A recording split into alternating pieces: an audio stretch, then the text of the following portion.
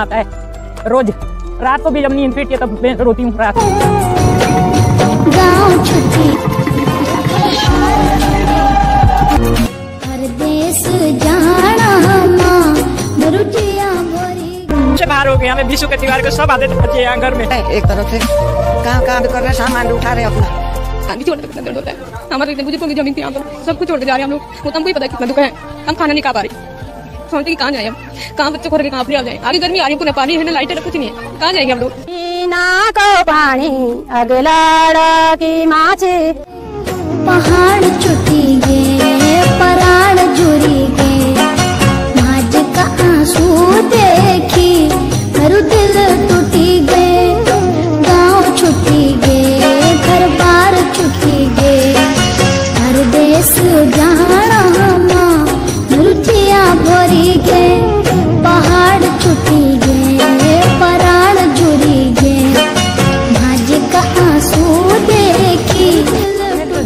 रोज रोना आता है। रोज रात को भी जब नींद पीटती है, तब रोती हूँ रात को भी। देख, कहाँ जाए? यहाँ तो हम तो डूब। गए यहाँ आ गई झील, यहाँ तक अतर गई जब हमारी ज़मीन ले रखी इसने सरकार ने तो क्यों नहीं दे रहे भाई हमें ज़मीन? थोड़ी जगह तो दे दो, गाँव को बसाने के लिए। थोड़ी ज़मीन दे दो।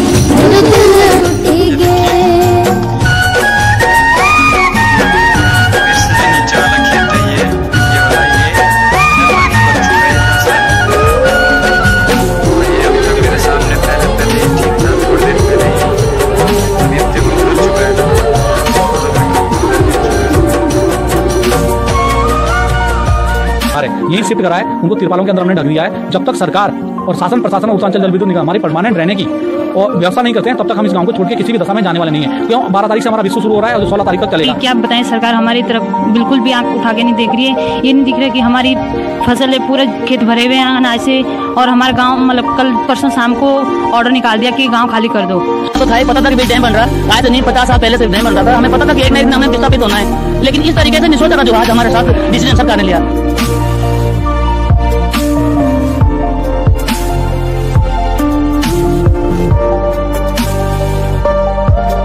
ये अपना घर है। अगर एक सुई भी खो जाती है, उसे ढूँढने में कितना टाइम लगता है? ये तो घर से सामान ले जाने वाली बात हुई ना, कि कितना सामान कैसे बोटे रोटे हम मामा कोट में कहाँ जाएँगे जब इनका पुनर्वास कहीं और जगह करते एक जगह करते तो कम से कम हम वहाँ पे जाते घर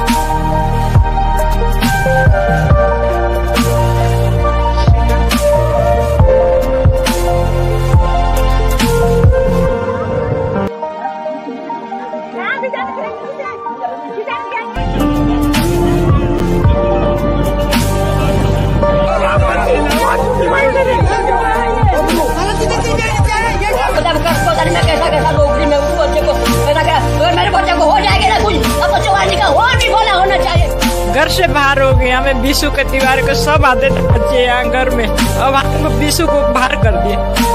विश्व में हमको बाहर करे विश्व से पहले कर। दे हमारा तो मकान भी तोड़ दिया। हम स्कूल में रह रहे यहाँ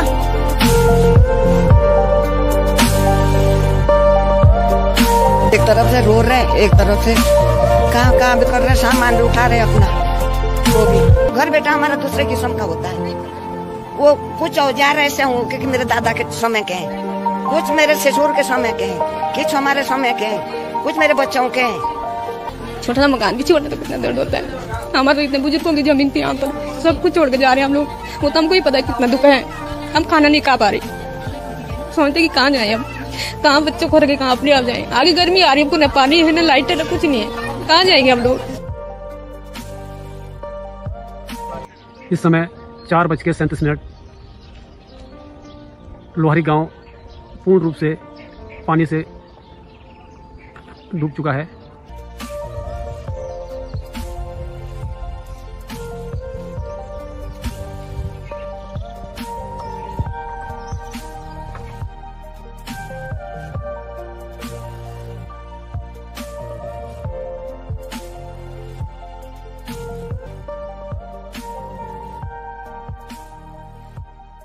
मी नाक पाणी अगलाड की माची सूर्या बारीचा अगलाड की माची जमी नाक पाणी अगलाड की माची सूर्या बारीचा अगलाड की माची.